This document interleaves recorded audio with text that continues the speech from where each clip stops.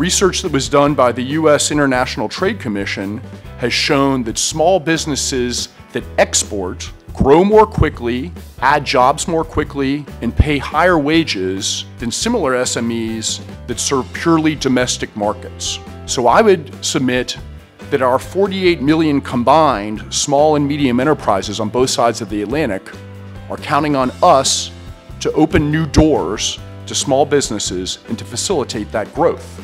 Tie benefity budú silnejšie najmä pre ekonomiky, ktoré sú otvorené ako pre Slovensko, ktoré by malo získať viac než 27 600 pracovných miest, tak ako je kvantifikované v tejto štúdii. Samozrejme najviac by mali profitovať malí a strední podnikatelia, ktorí predstavujú najväčšie percento zamestnanosti nielen na Slovensku i v celej Únii. Pri makroekonomike alebo pri veľkých výrobcoch e, má, bude to mať určite vplyv. Kopec veľkých firiem e, má obavy zo vstupu do, na trh iných, iných firiem. A ja si myslím, že aj to je príležitosť pre malé stredné podnikanie, lebo pokiaľ e, monopoly prestanú byť monopolmi, pokiaľ by tam nastúpi konkurencia, tak budú nútení tiež ekonomickejšie rozmýšľať a budú nútení hľadať potom si dodávateľov možno aj nových a nie tých zabetonovaných, ktorých často kvôli tomu sa nedostanú vlastne e, príležitosť e, nové a perspektívnejšie firmy. Malé a stredné podniky naozaj čelia väčším problémom a bariéram ako sú, veľk, ako sú veľké podniky, hlavne kvôli tomu, že sú malé alebo že majú malú kapacitu a na prekonávanie prekážok majú menej peňazí a menej pracovníkov ako tie veľké podniky a preto ich to viacej zaťažuje a preto to pre malé a stredné podniky bude najväčší prínos.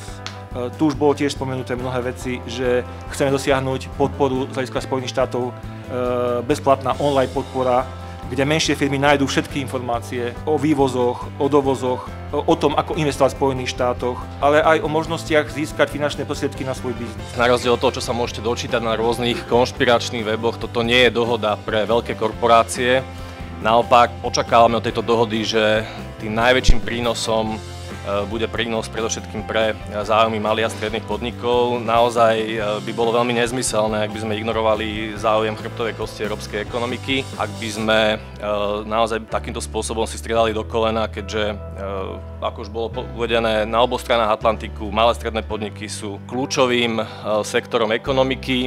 Konkrétne Amazon.com, čo je najväčší vlastne portál na svete, si vyhradzuje právo proste jednať len s americkými firmami, čiže my sa pozeráme na túto iniciatívu ako veľmi zaujímavý nejaký, nejaký krok vopred, ktorá by mohla túto, túto situáciu nejako riešiť.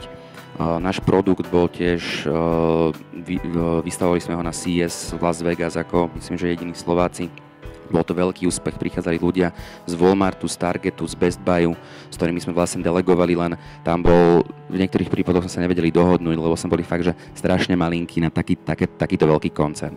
Problém, ktorý, ktorý zase ja pocitujem viacej, je, že hlavne ja musím častejšie cestovať medzi Spojenými štátmi a Európskou úniou.